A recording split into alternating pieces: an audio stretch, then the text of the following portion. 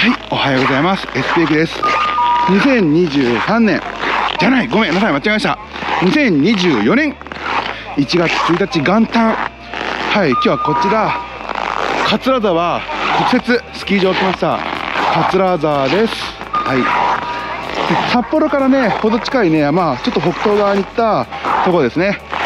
よく雪が爆撃のように降るあの岩見沢とかビワイとかあっちのすぐ近くというかその間のところにあるスキー場です。で軽く説明するとまず駐車場目の前にこのな感じありますまあね100台以上止めれそうかなっていう、ね、感じの雰囲気のね駐車場ですね。うん。建物はねここ多分機能してないレストハウスがあってでこっちにあの山の駅という、まあ、実施センターハウスですね。えーと、その今人が出てるドアのとこがあの券売所ででそのとこがその券売所の方が売店も兼任します。で奥にトイレがあってこのね窓際のところねこの辺はね食堂になってます。簡易的な食堂になってます、まあ、簡易的な食堂ってもちゃんとお金払えばメニューが出てくる食堂ですね。はい。トイレはね結構ね良かったですね。あったかいですね。北海道のスキー場ってねあの結構ね小綺麗にしたトイレで暖房をガンガン高すパターンが多いんでまあここも例に漏れずという感じです。はい。なんか一番奥の建物猿園って書いてあるんだけどえっ、ー、とねアセッシャー2台フリーノートですね。がね置いてあるところになんか猿園ってあってちょっとあそこねラストのエンディングトークで見に行こうかなと思います。コースとしてはこのペアリフト上がってってまあ真ん中で降りるかどうかで上側からもあの道路いうルート通ってくるか。で左側がファミリーコース右側がボーダー付けであスノーボードコース。あなるほど。スノーボード専用コースがあるんですね。ああなるほど。これね新しいですね。あんまり見ないパターンですね。あの常設でスノーボードコースって書いてあるの見たのは私2回目です。1回目は広島の大崎ですね。うん。はい。っていう感じでこんな感じのねゲレンデの様子ですね。やはりワクワクしますね、まあ、とりあえずここのねチェーンのねこの書き方がねえー、もしかして明日明後日こんだけ並ぶのかなとねちょっとね今からねビクビクするようなね状況ですね。はい。とりあえずまずこれ。滑っていきましょう見るから気持ちいい滑っていきましょうじゃあ行きましょうレッツゴーああの前にそうだずっと担いでるけどえー、板を買ったのは去年なんですけどあの新しい板を下ろしました小笠坂のあのトライアン SL あの要するにガチンコレース仕様ですねのあの板ですねのあのー、まあ去年買った時は最新モデルあのー、で今となったあのシーズン落ちのモデルなんですよねこれ買ってきましたであとブーツはあのやっぱり去年モデルのラングのね一番新しいねブーツ履いてきました。今日は完全にあのレース仕様というかカービング仕様の装備で滑ってきます、まあ、パウダー一応ね端っこの方見やすさあるから一応そこも入るけどパウダーメインじゃなくてやっぱここカービングメインっぽいんで多分それを楽しんでいこうかなと思います。よしじゃあ改めまして行きましょうリストに行ってきます。レッツゴーはいそんな感じで滑ってきます。ではリフトに着きました。えー、っと三笠スキー場。三笠スキースキルって書いてあるんですね。三笠はだからここ三笠市だったから確か。うん。あのここの、エリアですね。はい。よし。セーフティーバーはなしよと。えー、今日はね日焼けそうなのでちょっとかぶりますちゃんと。うん。えーとここのボーダーズコースってところもスキーヤーが滑ってますね。だかあの形だけっぽいですね。うん。あの名前がついてるのは。はい。まあ、実質的にねあのボーダー専用コースとしては機能しないようです。パウダーねやっぱ端っこあるけどもうギッタギタになってねとりあえずね撮影としては行くけど撮影としては行くけど別に頑張って行かなくていいよねっていうところだと思います、ね、この北海道遠征来てやっと初めてのまともな晴れ。あ平成13年11月のリーサです。結構新しいですね。はい。っていう感じですね。いやねやっとだよ。もうね BGMX で、ね、かかっててねうるせえとね言いたくなりそうな気もしなくもないけどね。まあそれそれはね気にせないでいけるぐらいねいややっぱね快晴って気持ちいいですね。うん。お正月から X 中間オリバーがあります。まもなく中間オリバーですので。中間オリバーがあるリフトって少なくなりましたよねあの高速リフトがだと中間降り場作りにくいですよね。あの結局高速リフトって降り場の降り場のとこあの速度をあの落として制限しなきゃいけないんですよね。その兼ね合いがあるのでなかなかねあの難しい難しいというかだからあの余計な気候が増えてね面倒くさくなるだけでねあの作りにくいものだと思います。うん。まあ、中間降り場があるってことは下は緩斜面で上はね上級斜面こういう斜面ですね。こういう斜面っていうパターンなんでしょうからまあそこら辺を考えるとまあそうなのかなってことですね。えー、っとねパウダーパウダーはいかないとしてあの整地もね結構がっぷりねポール張られちゃってるんでこのポール下まで繋がってんだね。うん。なるほど。結構ねあのやりにくい感じになってますね。うん。ああそこでパウダー埋もれてる人がいる。イエーイ。埋もれてる人イエーイ。イエーイ。元旦ハッピー年明けハッピーって感じですね。はい。さあ山頂からの景色どうでしょう。これはあのカメラあじゃあこれここねここ上がってきたところにすぐ止まったともう。ちょっと先があるんですねまあ多分この後真っ平らでそんなね支柱何本もないと思うけど一応ねこの先があるようです。なんでもしかしたら向こう側向こう側ねあのー、札幌市の方の景色とか綺麗にね見える可能性もありますね。こっち側もねまあ山並み雪景色はね綺麗なんだけどね。あのやっぱちょっと奥まったところに谷間に入ってきた感じの景色という感じで「あ X だよ X うるせえよ」って感じまあやってるねあのそんな感じなんでね。やっぱあの特別シチュエーション的な感じはもしかしたら向こうの方で味わえるか味わえないかというところだと思います。うん。こっちこんな感じであ向こう側もパウダーの中に、ね、圧雪がね1本入ってる。なるほど。ということでこのリフト上までは最低限2回上がってこなきゃダメなんだね。OK 把握しました。よし。まあこんな感じですね。やっぱちょっとここら辺で止まるんじゃなくてやっぱ支柱23本分奥行くって感じですね。でその奥も木が結構あるんであのそっちからのね眺望はね望めそうにないです。いやでもね逆にあの逆に？逆にというかあのまあこのね木々にね木がこうやってタタタタって乗ってねこのなんかあのクリスマスツリー状態っていうの？うん。この状態っていうかそうだね。木としてもさあのクリスマスツリーみたいなさああいう木だよね。あのこっち側のみたいにさあのほら葉っぱがなくなるタイプじゃなくてこういうタイプがねこの木辺多いみたいですね。多いのか？違うな。リフト沿いに多いんだなこれ。これもし意図的に植えてんのか？あの防風林というか防雪林にしてるのかもしれないですね。そうですね。向こうの山とか見ても全くないよね。あちょっとあっちの方にあるけどさ。うん。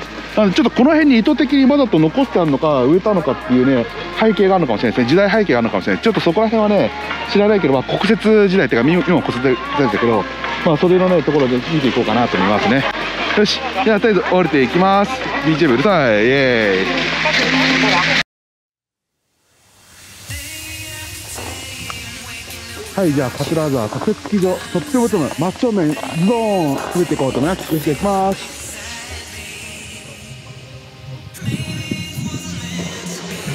Mm-hmm.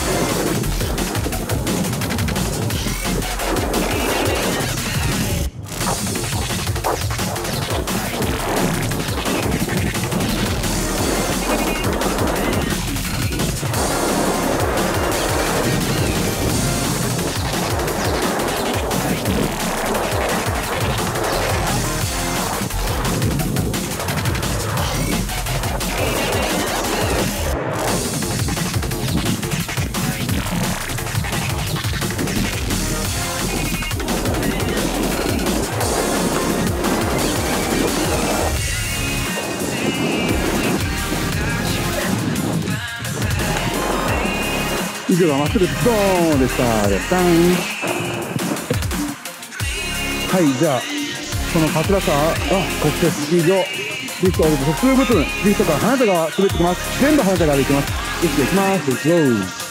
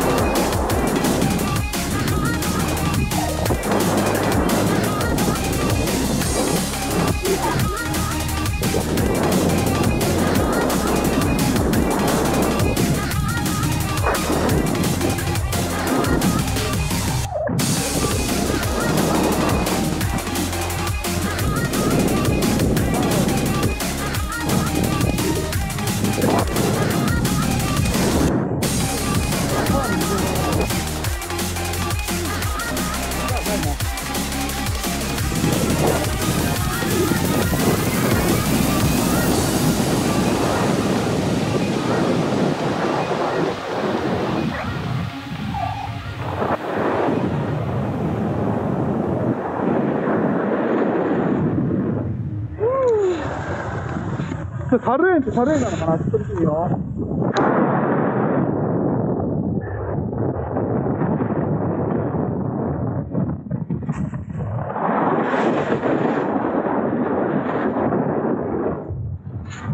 猿いなそうやで。まあエンディングでまたちょっと見ていこうかな。はい。じゃあ、こっちが、行きたくないけどね、おろしたてのアルペンの板で、こっちの不整地行きます。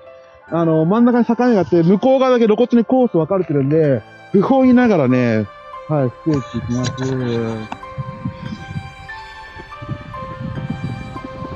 じゃあ、行くか。行くか、そうだな。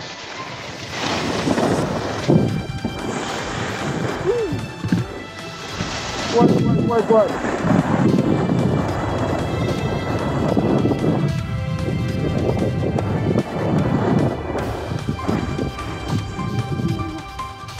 いやー、やめあ、でも、ある程度踏まれてる。ある程度踏まれてる。踏まれてるから、嫌だけど、嫌だけど一応ね、滑れそうではあるけど、嫌だ。でね、スリーランは行きたくない。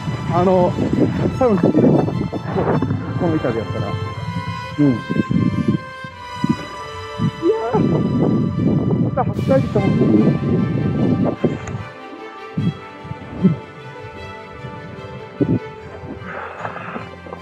えっとね、この後めちゃくちゃ下手な滑りだけど、本当にガチンコのあの、あの、スラローム用の新品の板を下ろしてきたところだから、このコースをね、あの、下手って滑るのはね、マジで許して。マジで許して。しかも今ノーストックだから、ナウトロなんだよね。マジで許してね。うん。マジで許してね。保険トークでこれ。いやー、いや、あ、埋もれる。いや。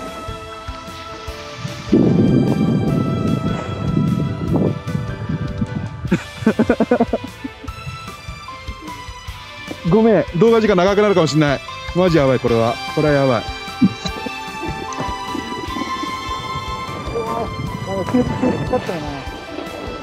ここういうとこあると薄いんだよね。これ、ごめん。無理かもしれん。マジ無理かもしれん。いやー、いや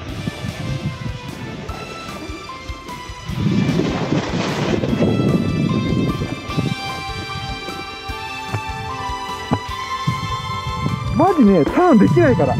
マジターンできないから。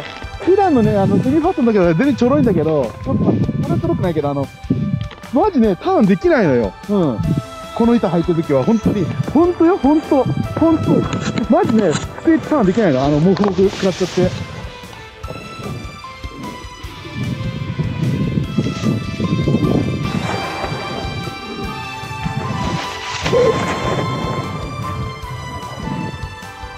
あの、こういう時にはね、シュテムターンというね、イニシエからね、スキー業界に伝わる人に技があるんだよね。あの、ターンするときにハの字開いて、で、曲がりきったときに内足をこう寄せてね、あの、ターン、パラレルターンにするっていうね、一つ技があるからね、それでちょっと逃げ切ります。うん。いや、マジ無理。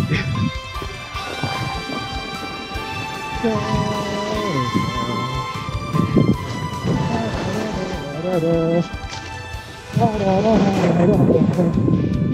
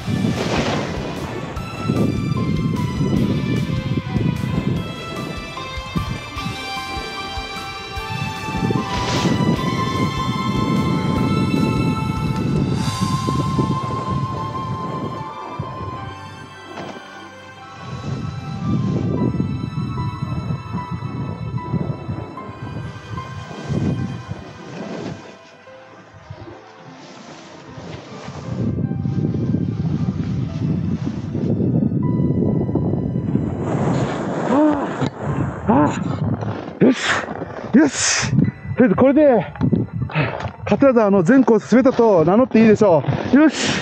ああああよかった。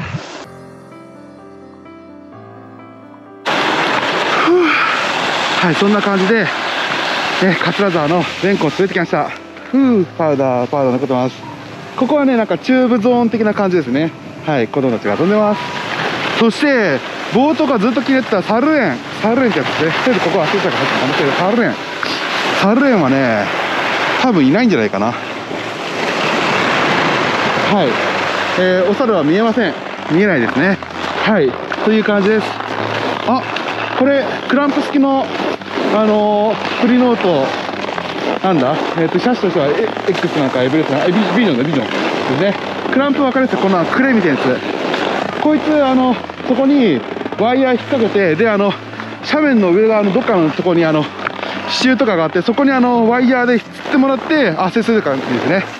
いくら圧接したといってもあの急斜面だとあの滑落しちゃうんであのそうなんないようにワイヤーで吊るしながら圧接するというね機構を持ったんです。だからねあんな急斜面ちゃんと圧接しちゃうんだね。あとそっちにねあのやっぱプリノートの X さんがいらっしゃいますね。はい。この桂沢はプリノート派のようです。よし。まあそんな感じで実際的にさ貸し出しチューブがここにあってこのなんかキッズ用のプレスなんですね。で一応この後ねあのゲレ食食べていこうと思います。あの直感的にはねそんなね別動画にするようなねあの多分ゲレ食にはなんないと思ってるんだけどあのまあそのシーンは多分この後おまけ動画でつけようと思います。はいそんな感じで簡単ですけど桂田は国設スキー場滑ってきました。この動画面白いと思ったら参考だったらグッドボタンチャンネル登録もろもろよろしくお願いします。これからも北海道のスキー場あちこち巡っていきます。ぜひともあの見てくださいね。全国のスキー場も巡っていける。この後もね2月とかね。よし。それではまた次の動画でね。じゃあね。バイバイ。